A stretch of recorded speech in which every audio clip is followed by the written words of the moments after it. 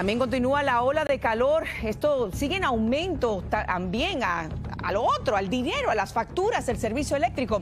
Porque la gente, como usted sabe, tiene que dejar funcionando todo el día el aire acondicionado. Ahora, la buena noticia al menos para los residentes de Arizona, es que existen varios programas que ayudan a pagar la electricidad, como es el caso de South River Project, que ofrece un descuento de 23 dólares y además ofrece soluciones para cuando no se puede saldar la deuda. Escuche usted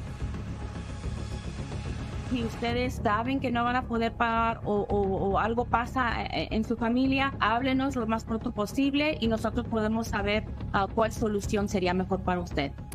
Bueno, ah, no son los únicos. Otra empresa que ofrece apoyo es la compañía de servicios públicos APS que conecta a los usuarios con diferentes organizaciones que los ayudan a pagar sus facturas, eso entre otras más. Y recuerde que la mayoría de estos programas estarán vigentes del primero de junio hasta el 15 de octubre.